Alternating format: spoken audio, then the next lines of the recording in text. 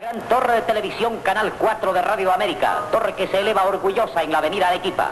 Un esfuerzo digno de todo aplauso realizaron los hombres que tienen a su cargo la dirección de Radio América al inaugurar hace pocos días la primera estación de televisión comercial que opera en el Canal 4. El presidente de la República, doctor Manuel Prado, y su esposa realzaron el acto. Antonio Humber, gerente de Radio América, en breves palabras hizo un relato de la magnitud de la obra ejecutada. El reverendo padre Constancio Boyar impartió la bendición al nuevo local de la televisión limeña. Aquí están los hombres del video peruano. Antonio Humber, Nicanor González y Abelino Aramburu.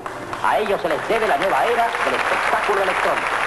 Un desfile artístico que duró 90 minutos y que fue presenciado por todos los invitados y millares de personas a través de los 5.000 receptores ya vendidos al público, inauguró las transmisiones del video nacional.